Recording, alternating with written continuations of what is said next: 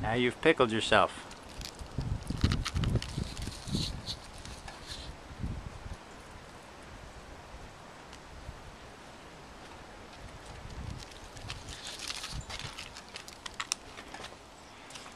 What are you gonna do now, sucker? All right, I got you. Come on.